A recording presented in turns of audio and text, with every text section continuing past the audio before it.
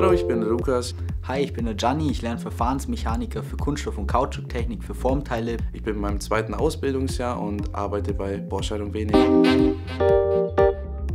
Du brauchst technisches Verständnis, ein freundliches Auftreten, solltest räumlich denken können und auch mal ums Eck denken, einfach für verschiedene Lösungsansätze und selbstverständlich solltest du natürlich auch im Team arbeiten können.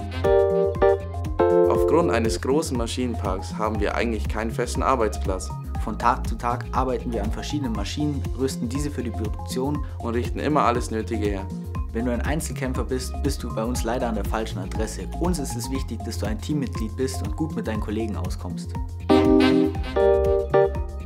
Borschein und Wenig besitzt eine eigene Azubi-Maschine, einen Azubi-Raum und eine Lehrwerkstatt, wo du dich intensiv auf die Prüfungen vorbereiten kannst. Außerdem gibt es für die Azubis viele Ausflüge, zum Beispiel Besichtigungen anderer Firmen.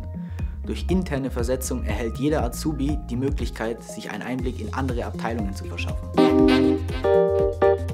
Bei Baustein und Wenig gibt es gute Aufstiegsmöglichkeiten und du wirst unbefristet übernommen. Also bewerb du dich für eine Ausbildungsstelle bei uns.